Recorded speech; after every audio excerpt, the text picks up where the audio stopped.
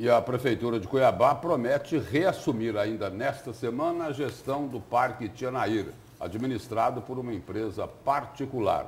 O Parque Municipal tem sido alvo e há bastante tempo de constantes críticas dos usuários, devido à falta de manutenção.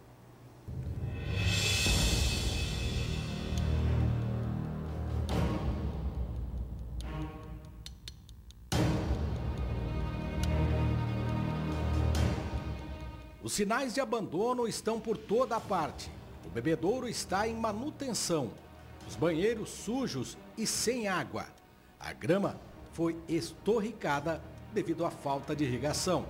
E os equipamentos de ginástica estão se desmanchando.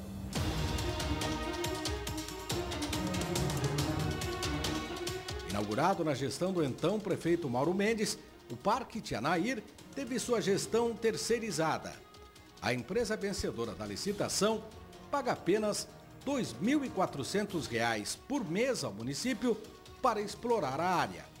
Mas tem entre suas obrigações, explícitas nas cláusulas contratuais, a manutenção e a limpeza do parque. Itens que são questionados pelos usuários e a própria prefeitura, que deve reassumir a unidade nos próximos dias. Seria uma ótima, uma ótima opção, né? Porque a coisa fica abandonada.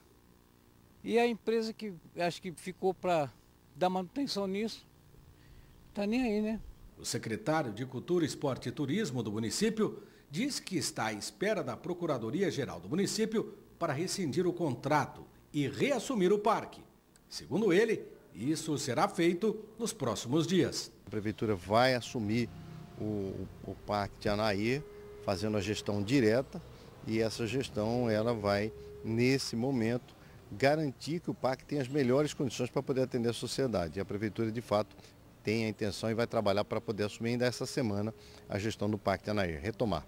Apesar do contrato prever que a manutenção e a limpeza cabem ao gestor, o advogado da empresa critica a Prefeitura e responsabiliza o município pelo estado do parque. Os próprios, o próprio sistema de irrigação do parque nunca funcionou. Os banheiros do Parque Tianair foram mal dimensionados para o público frequentador do parque. Então você tem uma série de vícios que decorrem, inclusive, da, no momento da entrega da obra e que estão sendo reportados exaustivamente à atual administração pública municipal sem qualquer retorno. Caso a prefeitura protocole esse pedido de rescisão, a empresa se opõe, ela vai acatar ou pretende recorrer? Da maneira como a questão vem sendo conduzida pela administração pública municipal, eu não vejo condições realmente de continuar da forma como está. A gente precisa ter respaldo da administração para que esses vícios que vêm sendo de fato reportados, eles tenham, sejam conduzidos de uma maneira para atender a população. Enquanto essa queda de braço continua, a população espera pelas melhorias.